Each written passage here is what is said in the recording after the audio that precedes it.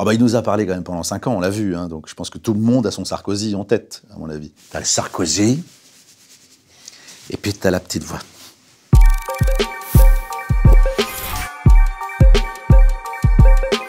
Mon premier rapport à la comédie, euh, bon, c'est déjà ce que je regarde euh, à la maison, c'est-à-dire je regarde euh, la trilogie, je regarde ce que mon père regarde en fait. hein. Je suis le dernier, quatre garçons, donc tu fermes bien ta gueule et tu vas regarder ce que les autres regardent. Et je crois que je suis tombé sur euh, euh, César, Marius, Fanny, la trilogie de Pagnol. Dis, tu m'as pas appelé à 7 heures Oui, 7 heures euh, moins quelque chose. Tu étais euh, appelé, seulement tu as continué à dormir. On t'entendait ronfler d'ici. Eh ben alors là, c'est pas possible. Pourquoi? Eh, parce que je ronfle jamais. Donc j'ai un souvenir de ça, j'ai un souvenir d'avoir fait des sketchs en CE1 dans la cour et de le présenter à l'école et me saluer à la fin en disant Bon ben voilà, je m'appelle Jean Dujardin, je suis en CE1, merci. C'était des, des petits sketchs où on faisait des passages. euh, Pardon monsieur, je cherche la rue, voilà, des trucs comme ça. Et les deux autres avaient peur de venir saluer, donc j'y suis allé tout seul, euh, la honte au corps. J'ai rougi et je sais pas pourquoi j'avais fait ce truc-là, mais. Est-ce qu'on peut dire en première terminale, tu commences à avoir un déclic, t'imites tes profs Ah non, ça je l'ai toujours fait. Ça a toujours été le moyen d'exister d'ailleurs, très fort. Je le faisais en classe, euh, j'allais souvent au tableau euh, à la fin de l'année et je le faisais euh, pour foutre un peu la honte au prof, pour récupérer des points quand même auprès de la classe parce que tout le monde me voyait comme une buse. Sympa, mais un peu, un, peu- lent. Donc c'était un bon moyen quand même de, rétablir le, le truc. J'avais un prof de, en terminale, un prof de philo qui était très dur, mais qu'on trouvait passionnant, qui était odieux, qui était horrible, qui nous rendait des copies en disant bon alors il y a deux paquets. Il parlait un peu comme Jean-Pierre Bacry, tu vois, très très fort.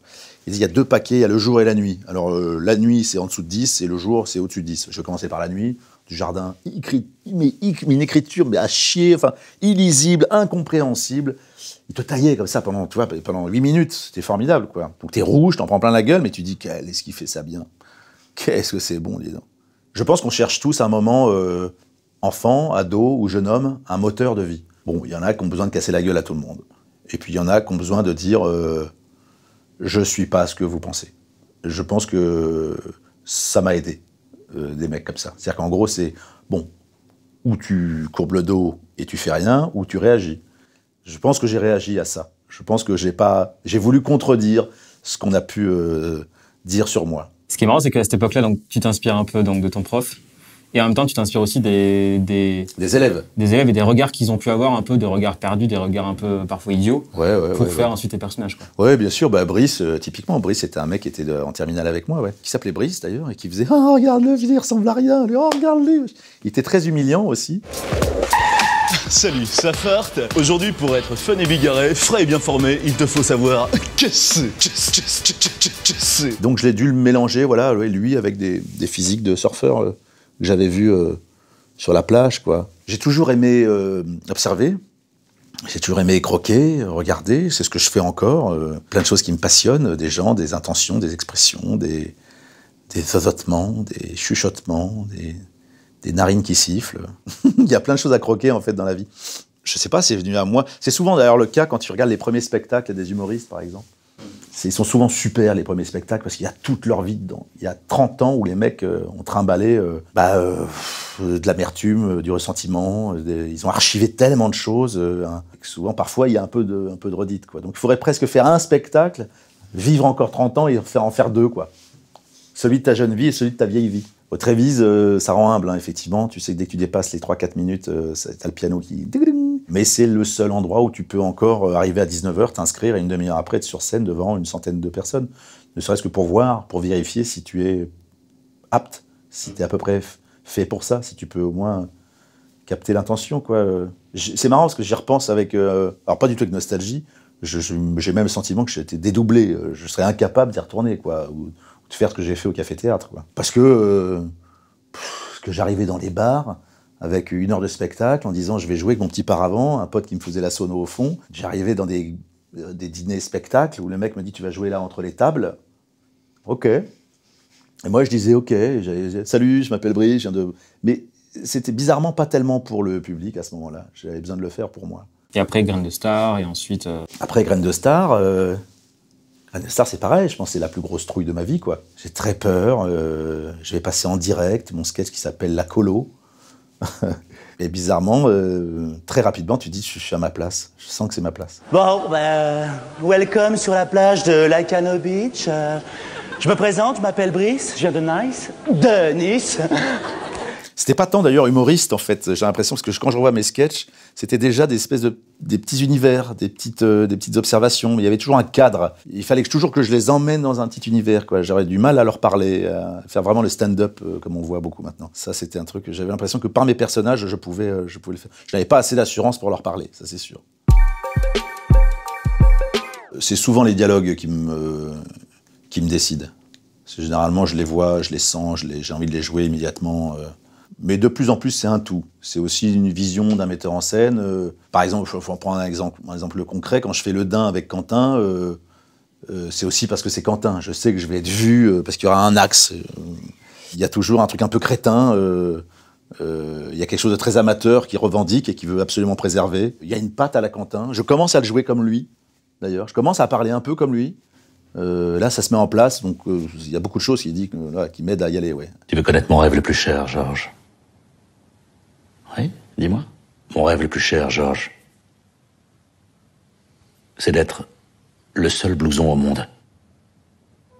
Et quand tu lis les, premières pages de, OSS ben là, il faut faire attention parce que c'est pareil, je suis un peu comme le public, comme tous les publics qui adorent euh, les OSS. Je suis aussi spectateur euh, des films, tu vois ce que je veux dire. Euh, j'en attends beaucoup, peut-être un peu trop. Il y a des choses qui me vont, d'autres moins. Il y a des scènes qui sont très longues, qui sont sûrement à, à, réduire. Euh, je fais un peu mon, je fais déjà ma critique, quoi. Je suis déjà en train d'anticiper sur la, rencontre avec Jean-François Alain et les producteurs en disant voilà ça, moins ça, oui, ça. Comment faire pour que ce projet soit euh, un nouveau, un objet euh, à part, singulier, original. Vous voyez l'automobile derrière moi? Oui. Ça fait un petit moment que je l'observe. Eh bien? Eh bien, elle est absolument impeccable. C'est quand même bien mieux une voiture propre, non? À l'occasion, je vous mettrai un petit coup de polish. Je sais ce que c'est, en fait, on sait trop ce que c'est sur un plateau. Si tu le laisses euh, à moitié ou, euh, ou si tu laisses des trois petits points, on verra bien, on improvisera, tout ça, c'est pas bon du tout. Parce que c'est pas à ce moment-là que tu inventes. Généralement, les impros, elles sont, elles chic quand la scène est géniale. Euh, elle doit juste rajouter du, génie au génial. ça, ça c'est de l'impro super. Donc je blinde tout, bien sûr à, la virgule. Hein. Il faut que ça chante. Hein. Je la prends comme une chanson. Il faut que ça soit très musical. Quand la phrase est trop longue, il y a cinq vers dans, la phrase, c'est beaucoup trop long. Il faut que je coupe. Ouais, ouais, j'apprends très, très, effectivement, très scolairement, euh, très à plat. Et puis ensuite, une fois que je l'ai, je commence à faire des variations. Oui, des, intonations, des toutes petites choses, des bruits de bouche, des. Euh, des mm, mm, mm, et puis le il colle bien avec le sourcil. Et puis ce m'amène des fois euh, à une autre idée. Euh. Et puis ça, je suis très dépendant aussi des gens qui, jouent en face de moi, forcément. Si Pierre Ninet fait un truc, euh, je vois bien parce que Pierre il chope tout, il attrape tout, il est, il va très très très très vite. Donc ça aussi, c'est un, il faut en tenir compte. Ouais. Dans ce, dans ce, cas de préparation aussi, tu te fais des projections mentales. Tu fais des projections avant donc d'arriver sur le tournage. Qu'est-ce que tu projettes en fait? Justement le jeu des acteurs en face de toi ou la situation, le décor? On, on projette un truc qui ne se passe jamais. La géographie du décor, l'ambiance, euh, la lumière, la nuit, le jour, euh, la, moiteur, euh, la gueule des acteurs qui n'est jamais la même, enfin, en tout cas qui n'est jamais celle-ci. c'est jamais ce qu'on a imaginé. Jamais, jamais, jamais. J'aime me dire que je vais dans une séquence, quoi. J'aime me dire que je vais dans une scène. Je la projette quand même. J'ai de la gourmandise. Avant d'arriver sur le plateau de Scorsese pour Le Loup de Wall Street, comment tu prépares ça, justement, le banquier suisse? Je le prépare avec ma coach d'anglais. Euh, dans ma cuisine, où elle me fait répéter, répéter, répéter, répéter jusqu'au jusqu'au dégoût. Ensuite, je prends l'avion, j'arrive à l'hôtel, je traverse le pont de Brooklyn, il est très tôt. J'arrive dans un espèce d'hangar, euh, c'est le plateau. Je vois tout le monde en anorak, qui fait un peu froid. Je dis bonjour à tout le monde, c'est très chaleureux. Je m'assois et je me dis, bah, c'est exactement comme un plateau français en fait. En fait, t'as juste à faire ton métier, quoi. Donc je viens m'asseoir là comme ça, et, et dis, ah Jordan, Yes, Swiss costume requires 10 minutes of bla bla bla, chit-chat, uh, et, en fait, c'est du charme. Tu fais du charme.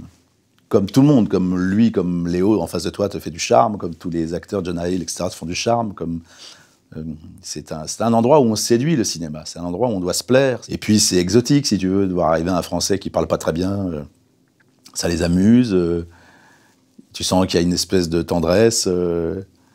Donc tu te sens très bien euh, rapidement. T'as le contre-champ sur DiCaprio, il, est présent ou c'est que la caméra Ah non, non, il est là. Il est, il est juste derrière la caméra. Il est vraiment, il est collé à l'axe et il t'envoie euh, à fond. Et tu vois ces deux, ces deux, deux petites amandes bleues là. Et il t'envoie un truc de dingue. Il était même là au téléphone quand je fais toutes mes séquences de téléphone. Il est à un mètre et il est mort de rire quand je lui dis euh, bouge ton cul, bouge ton cul, bouge ton cul. J'ai bouge ton cul, bouge ton cul. So check if tanks are rolling down the rue de la Croix, huh? Oui. Yes, rue de la Croix. Croix. Ah, Croix. La Croix. Croix. Not Croix, no, not rue de la Croix. Croix. See, this is what I used to do back in law school. Check me. Champagne, champagne. Yeah. yeah, yeah. French fries. Bon fruit. Il aime vraiment ça, il aime être sur un plateau, quoi. Il aime fabriquer l'objet. Il sait que ses encouragements, son énergie, euh, va faire du bien au film. Donc il en envoie à tout le monde. C'est des mecs qui, qui- qui prennent le film, qui tiennent le film et qui envoient l'énergie partout. Ça, c'est un, ça, c'est une très très bonne chose. oui. Il est la santé du film. Dans ta préparation, encore une fois, des personnages, le côté physique, c'est-à-dire euh, un costume, un, un- un- un- ouais, un habit, va t'aider à rentrer dans le, dans, dans le personnage? Souvent, ça l'a été pour 99 francs, immédiatement, parce que j'avais, alors, pour le coup, je devais me rapprocher d'un look de Beck BD dans les années 90. Backshot, Starlight pour rester mince, sauf dans sa tête. C'est génial. Les gars, là, vous m'avez bluffé, hein Je me souviens dans la French, je voulais des bottines, je tenais à ces bottines un peu années 80, euh, des talons assez hauts. Ça me changeait aussi ma façon de, de me tenir. euh. Bonjour. Putain, c'est pas vrai. Moi qui plus que lui. hein. Oui, moi aussi je suis content de vous voir. Ah, sur OSS, évidemment, sur OSS, là, c'est- c'est tellement là, sur celui-ci, c'était années 80, t'imagines bien que les, les sahariennes à la Roger Moore, euh, tous les pas de def, les impairs de papa, il n'y a, pas grand-chose à faire là pour le coup. C'est vraiment très très chimique, hein, mais même presque plus que sur les premiers OSS. Où j'avais le sentiment, j'étais plus jeune, j'ai presque 30 ans, j'avais le sentiment d'être un peu plus déguisé. J'avais l'impression d'être déguisé déjà un peu comme un, pas comme un grand-père, mais euh, j'ai le Marcel, mais j'ai pas l'âge du Marcel. Donc euh, je suis dans un truc un peu hybride. Euh, là, je dirais que j'ai plus le corps d'un d'un mec de 50 ans déjà et, et d'un ouais de Dean Martin quoi, des films des années 60 70. Et après, et je pense forcément à Président, tu regardes beaucoup de, de vidéos de lui pour trouver ce petit déhanché au niveau de l'épaule, euh, ce petit... euh, Ah bah, il nous a parlé quand même pendant 5 ans, on l'a vu. hein, donc je pense que tout le monde a son Sarkozy en tête, à mon avis. Moi, celui qui m'intéressait, c'était la petite voix. T'as le, t'as le Sarkozy, et puis t'as la petite voix. Et celui qui parle un peu comme ça. Donc là, c'est pareil, c'est des pièges, parce que si je vais trop là-dedans, ça va être très chiant pendant une heure et demie. J'ai pas envie de faire Sarkozy. Tu vois, bon. Donc qu'est-ce que je fais? Je vais loin, et puis ensuite, je dis, bon, je vais en enlever, en enlever, en enlever, en enlever, puis je vais juste garder ça. Je vais vous dire. Et voilà, et là tu dis, mais je le vois, mais je le vois pas, je le vois, je le vois pas, je vois. Et ça me permet de tenir pendant une heure et demie. Mais c'est pas Sarkozy, il s'appelle Nicolas. Sur le tournage, quand, là aussi OSS, Brice, n'importe quelle comédie que, auquel tu as participé, en quoi le silence il est important? Bah, C'est-à-dire qu'en fait, tant que tu l'as pas fait, le silence, euh, tu sais pas. Un silence pour un silence, bon, non, on va pas faire des silences partout, tout le temps. Je ferai un silence s'il y a, oui, une agonie nécessaire ou une, gêne. Je sais pas, quand Micheline Pierson, je dis, euh, bien, je vais à la piscine. Il y en a pas. Ah, voilà, forcément, tu es, en réception. Tu vois, tu t'en prends une dans la gueule. Bien. Et puis tu t'en vas, euh, tu vois, mollement. Enfin, mais comme quand je suis sur la piscine, tu vois, je suis prêt à sauter dans l'OSS 2, et puis en fait, tu t'en vas, le dos comme ça, comme une merde.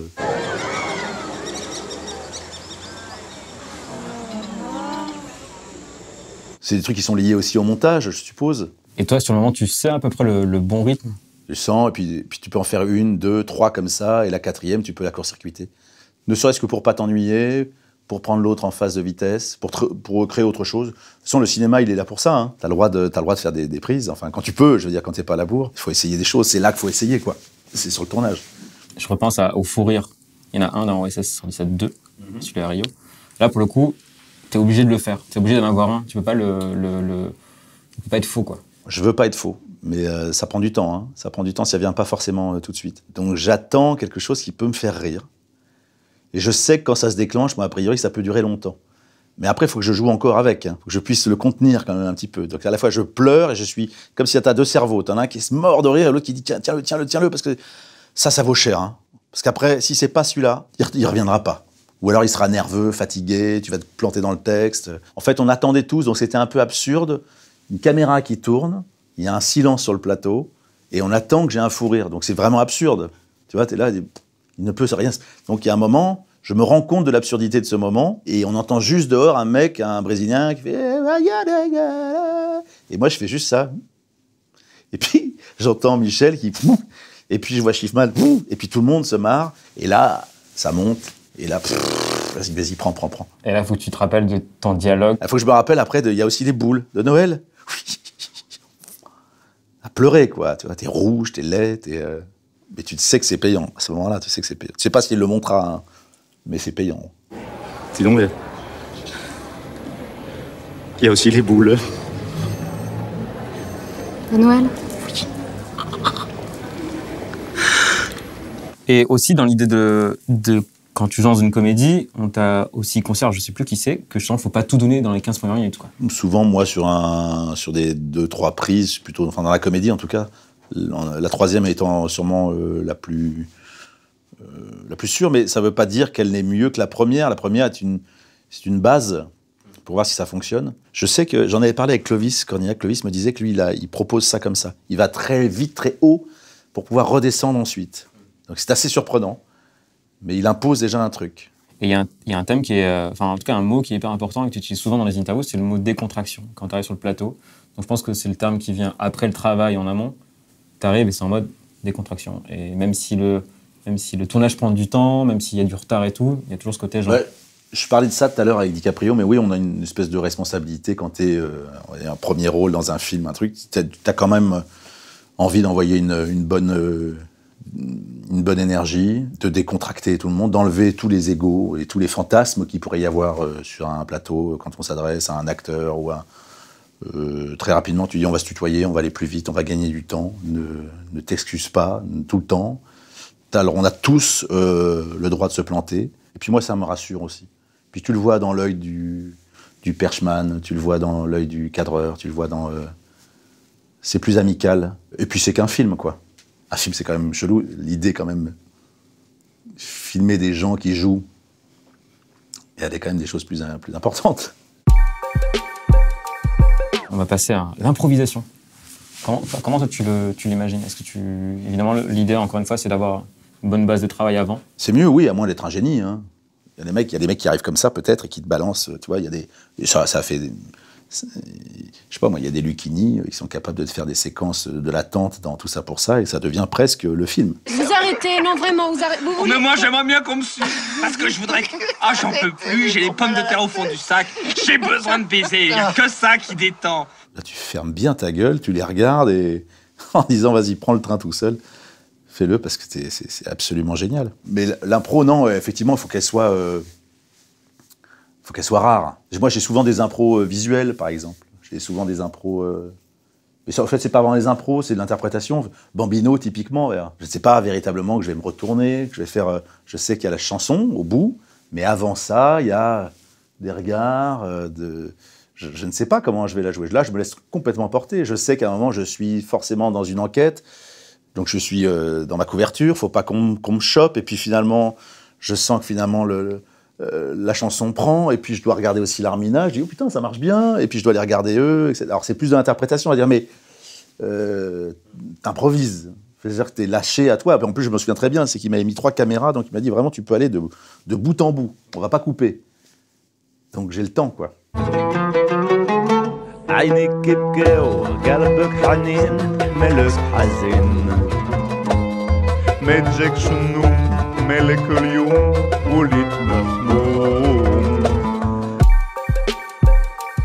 Enfin, en tout cas, Zanemi, je crois qu'il parlait de toi comme un acteur de plan large. Ouais. Tu peux nous expliquer un peu en quoi ça consiste et, et- Bah, c'est-à-dire, c'est des, c'est des- alors c'est très Black Edwards aussi, parce que ça convient aussi à sa réal à ce moment-là, notamment sur le premier OSS.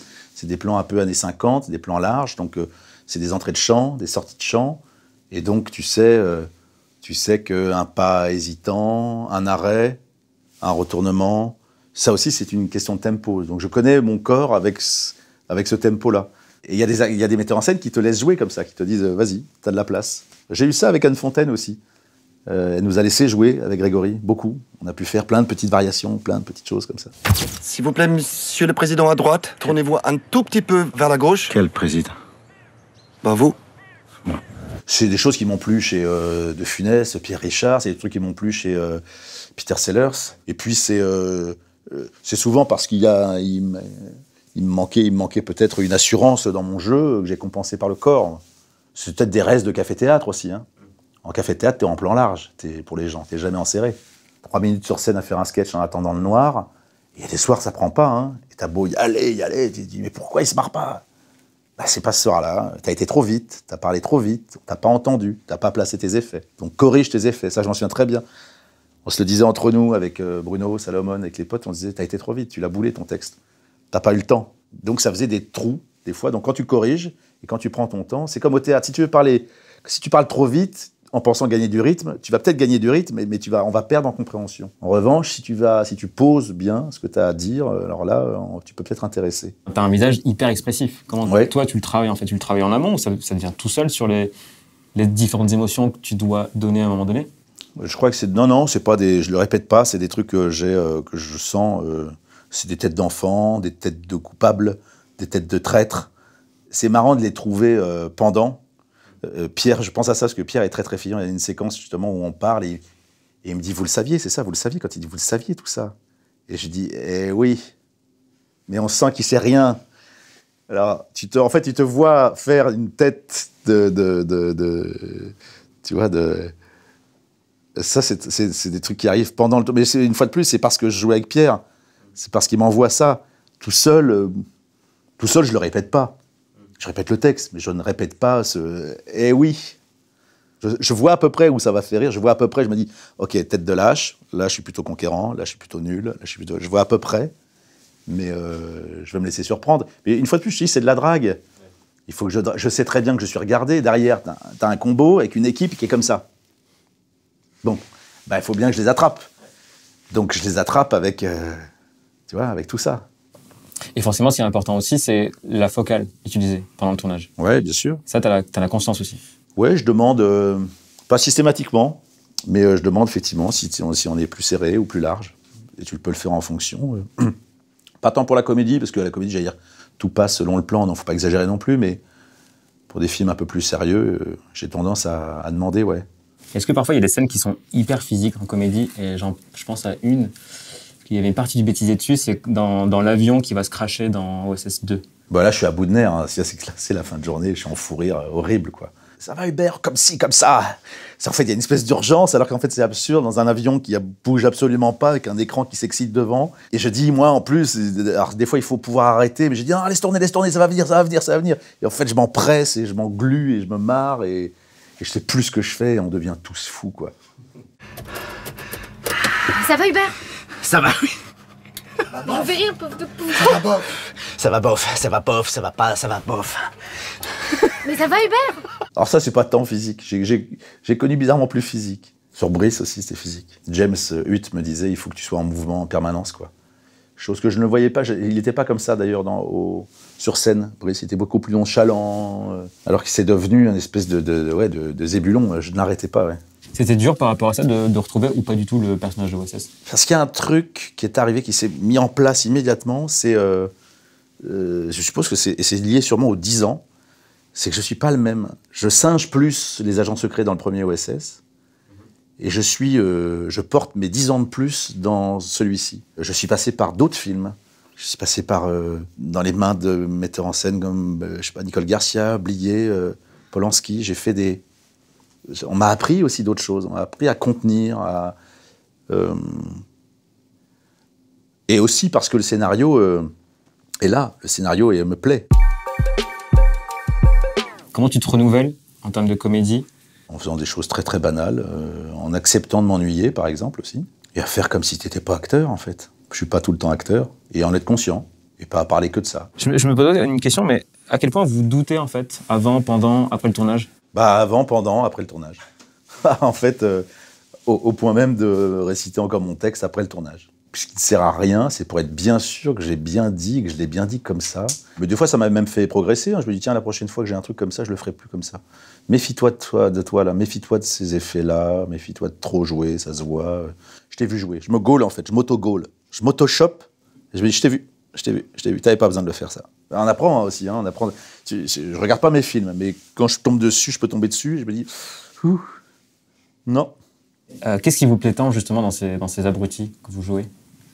L'isolement, peut-être, la solitude. C'est un truc assez récurrent, la solitude, parce que je me dis à chaque fois, il faut bien trouver un thème quand même. Tu sais, il y a des thèmes récurrents dans, dans tes films, comme les metteurs en scène ont des marottes, tu vois. Où on- Moi, j'ai le sentiment que j'en ai. euh, euh, la solitude est un truc. Brice est un personnage vraiment en circuit fermé, très seul. Euh, dans J'accuse, mon personnage est très esselé. Dans euh, La French, mon personnage est très esselé. La solitude revient souvent. Et j'ai l'impression que la connerie, tu sais, la connerie t'isole énormément, quoi. Mais c'est comme si tu avais une espèce de GoPro sur toi, en fait, la comédie, c'est ça. Tu te vois faire un, con, un minable, dire un truc interdit, et c'est à la fois euh, très drôle, gênant et- et tendre. J'ai un regard tendre sur cet isolement. Je suis allé loin, là. Emini.